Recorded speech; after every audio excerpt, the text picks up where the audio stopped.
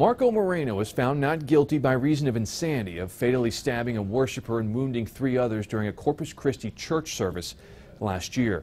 Mental health professionals found that the 29-year-old was insane at the time, and the jury agreed in their verdict. The Corpus Christi Caller Times reports that prosecutors had argued to the jury that Moreno worsened his psychosis by smoking marijuana.